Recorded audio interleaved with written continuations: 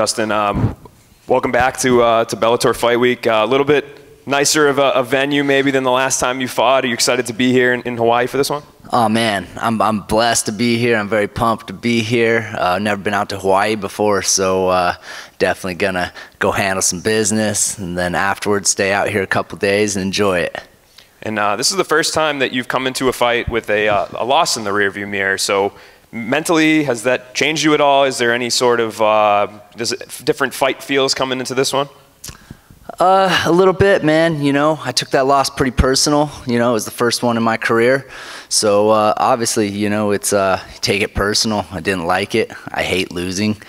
Um, doesn't matter if it's chess, doesn't matter if it's cards, doesn't matter if it's a race, doesn't matter if it's a fight, man. I hate that shit. I hate losing. So uh, took it personal, took some time, uh, reanalyzed some things, focused on some things, and uh, we weren't too far off. So now we're back, better than ever, evolved, grown, ready to handle some business.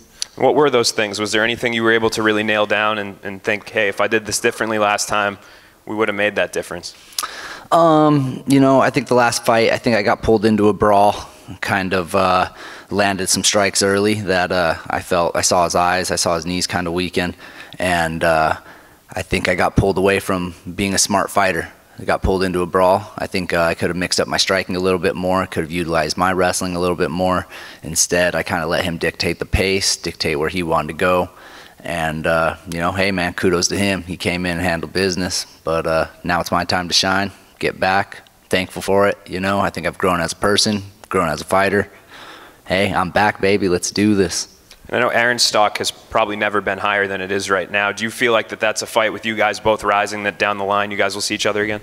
Absolutely, without a doubt in my mind. Um, you know, obviously I got to go get go handle business, get a couple wins back, climb that ladder. But uh, hey, I'm here. I'm for real. I'm about it, and uh, maybe it'll be for the belt. Who knows?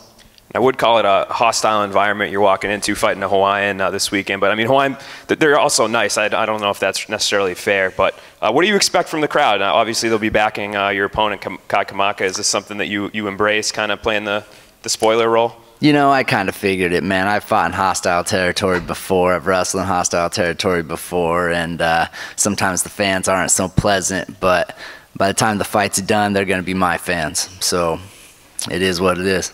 You talked about last fight kind of being maybe sucked into a brawl a little bit. Uh, Kai Kamaka is a guy that gets in those sort of brawls. So, uh, what's your mental going into this? Is it is it to avoid that? Is it to kind of just do your thing, or, or, what are you expecting from? What should fans expect to see out of you? Hey, man, you guys expect to see me do my thing, man. If I got to beat this dude up on the feet, then so be it. I'll beat him up on the feet. If I got to wrestle him, break him down, then that's what's going to happen.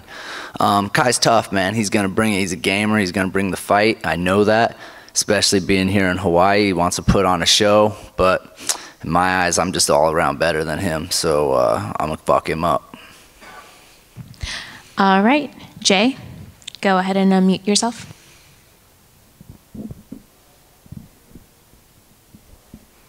Hey, thanks very much. And uh, you know, Justin, when we talk about the uh, the first loss of your career, does it take any of the edge off of it that it came against a guy as highly touted as Aaron Pico? And does that experience kind of do something for you in terms of your your future?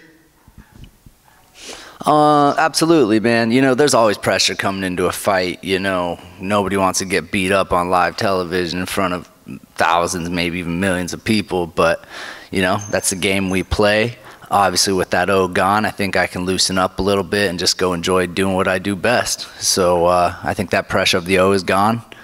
But uh, hey, there's still pressure, but pressure makes diamonds, right? So. Absolutely. And, you know, getting this fight in in April, there's still a lot of 2022 left. Things are opening up again. What's your hope for the rest of uh, the year in terms of your fighting career?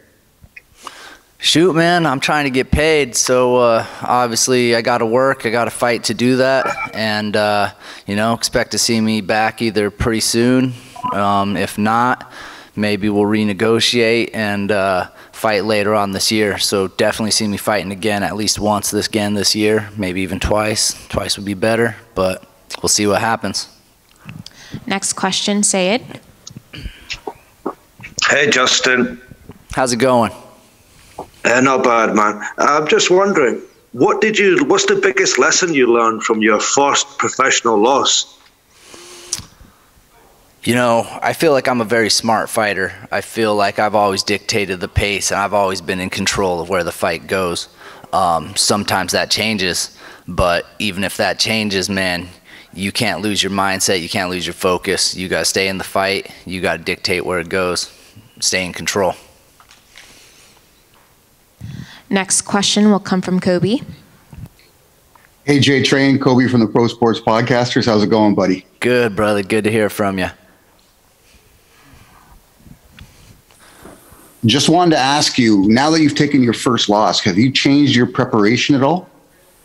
No, no, man. Um, I don't think we're that far off. You know, the things I'm doing are working, but uh, like I said before, you got to keep growing in this game. You got to evolve. You got to keep growing. And if you're not, you're getting passed. So uh, we kept it pretty similar. A couple minor details we tweaked, um, just in our training and our recovery, a little bit in our diet, and uh, you know, this game's trial and error. So there's going to be losses. Losses are going to happen. Even the greatest champions have fallen before. But uh, if I know anything about myself, it's only going to make me stronger, come back better than ever. So, uh, you know, we didn't have to tweak too much.